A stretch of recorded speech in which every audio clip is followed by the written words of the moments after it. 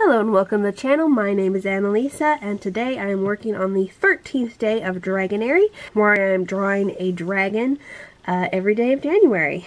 Yesterday I did a ladybug dragon so today I'm going to do a bee dragon and uh, I worked on this sketch a couple of different ways and one had it looking very much like a wasp because it was more long and skinny so I shortened up the neck to make it a bit cuter, um, but the pose is very much like another dragon I've done, so oh well, I think it'll still look cute, and the wings are very different from the other dragon, as well as the color scheme. Um, but this one will still be a fairly simple color scheme, much like the um, ladybug, so it'll probably go fairly quickly, um, but hopefully it will also turn out cute.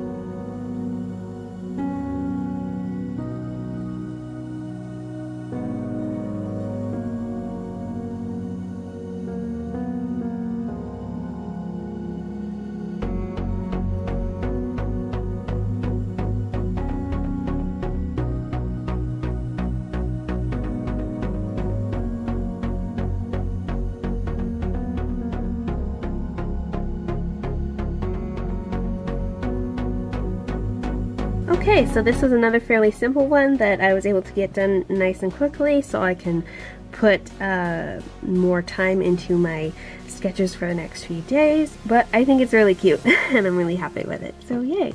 Thank you so much for watching and I'll see you in the next video. Bye!